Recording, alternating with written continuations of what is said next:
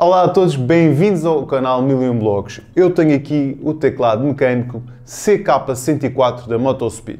Se tu estás aí a ver esse vídeo, certamente ou és gamer, queres um teclado mecânico que ajude nos teus jogos, que aumente a tua performance e tenhas teclados configuráveis com luzes LED, com tudo e mais alguma coisa, ou então és outro tipo de pessoa que gosta de tecnologia, gosta de saber as novidades e se realmente é uma boa aposta ou não. Eu vou fazer uma pequena análise em que vocês vão perceber se realmente é um bom teclado para vocês e não só, vou-vos dar aqueles truques, aquelas dicas que normalmente vocês gostam, está bem? Fiquem para ver.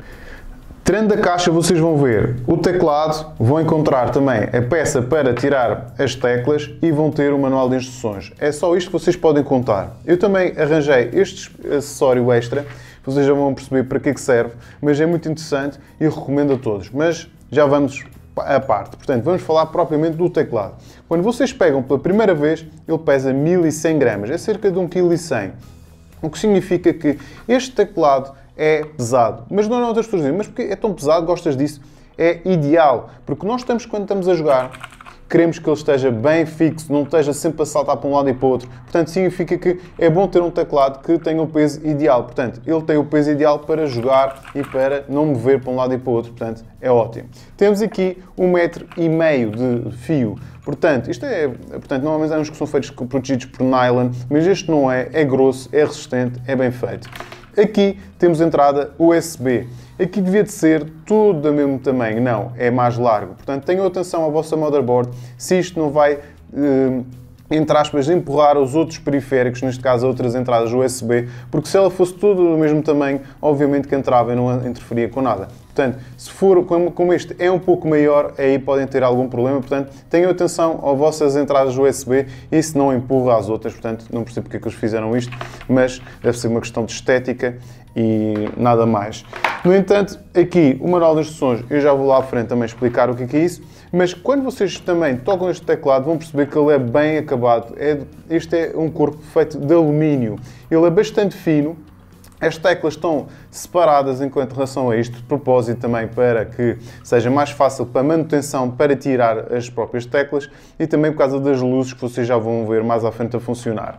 Aqui atrás tem uma coisa interessante que é aqui para pôr o teclado elevado. Assim evitam estar a usar esponjas na parte de baixo para que quando estão a usar o teclado seja mais fácil e mais cómodo de utilizar. Aqui tem aqui duas antiderrapantes, portanto tem aqui dois antiderrapantes que é ótimo para também não verem o teclado para um, lento, para um lado e para o outro.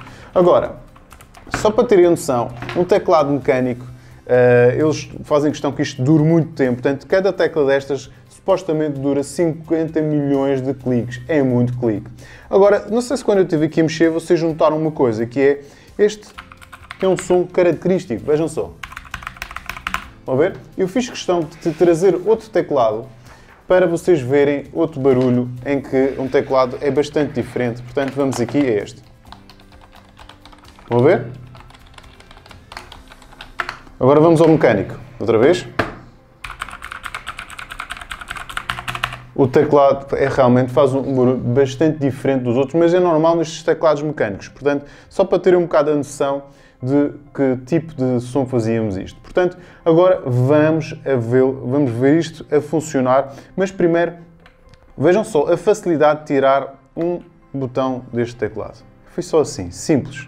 Mas também vocês podem usar, e eu recomendo que usem, portanto fica aqui uma dica já, que é usem este acessório é melhor do que com a mão, mas também podem, portanto, é indiferente. Vocês com isto, vocês inserem o, o, este aparelho, fazem assim e é só puxar para cima.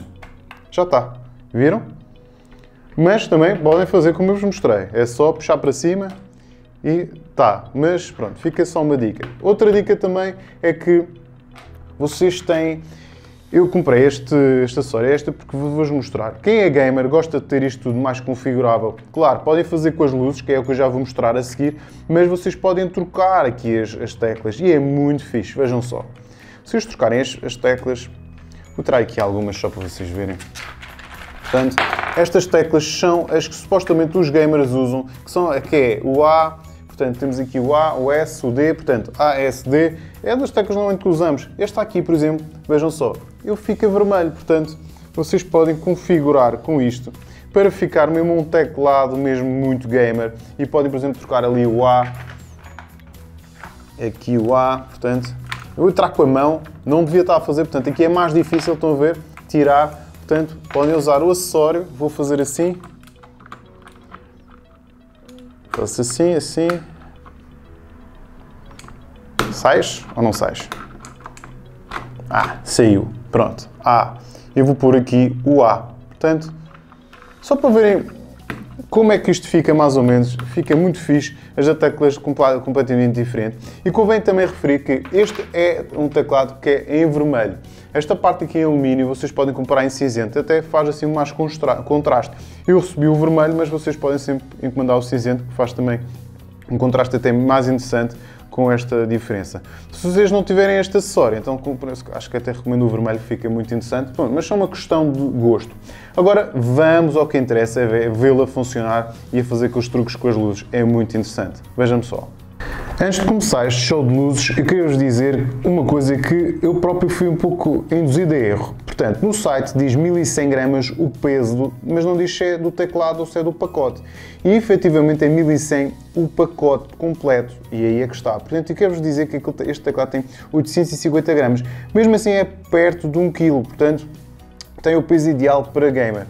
Agora, outra coisa muito importante também, antes de começar o show de luzes, é mesmo isto, que é o teclado não tem C de cedilha. Se repararem aqui, ele não tem o C de cedilha. Porquê? Porque isto é um teclado americano. Portanto, um dos truques que vocês podem fazer é mudam a configuração de teclado uh, pronto, para português e alteram lá automaticamente, mas depois há pessoas que fazem é tiram, uh, compram autocolantes de C de cedilha e põem aqui em cima, ou até fazem mesmo em casa manualmente para, para que ele fique configurável e seja mais fácil de decorar onde é que estão as ditas teclas. Agora vamos é os efeitos de luzes, que é o que nós queremos ver e certamente vocês devem estar curiosos. Primeiramente é assim, para vocês mudarem os efeitos de luz ou o tipo de configuração é FN e Insert. Se vocês querem mudar a cor de, de, do próprio efeito, é carregar FN e DL. Se querem que isto fique mais rápido ou mais lento, até mesmo parar das cores, basta carregar FN esquerda ou direita. Portanto, vocês já vão ver eu a fazer isto. Então, vamos a isso. Carregando FN e Insert. Uou, já estamos aqui outro, um efeito espetacular. Carregamos outra vez, agora quer mudar o tipo de cor, vamos mudar as cores. Carregando FN e DL. Quero o efeito mais rápido, faço aqui. Se quero mais lento, carrega para a esquerda e ele fica bem mais lento e mais estável do que se carregar para a direita. Vamos dar outro efeito, FN Insert e lá está a fazer outros efeitos muito loucos. É mesmo interessante. Vamos carregar FN outra vez e vamos ver outro efeito. Cá está outro. Isto é engraçado, se carregar num qualquer tecla, ele parece que expande as teclas com luz. Depois, quer isto mais rápido, ok, FN para a direita e ele faz o efeito bem mais rápido. Uou, é muito agir. FN outra vez e ele parece que deixa um rastro. Quando eu clico, a tecla que eu clico fica à volta, com várias luzes à volta. Depois FN, Insert, outro efeito outra vez. Mais um. Quero mudar de cor, Enfim, como perceberam, este é um teclado que tem muita funcionalidade. Vocês depois fica aqui a dica também, que é vocês veem aqui as instruções e podem ver várias configurações que é possível utilizá-lo para, por exemplo, diretamente ir ao vosso e-mail ou não.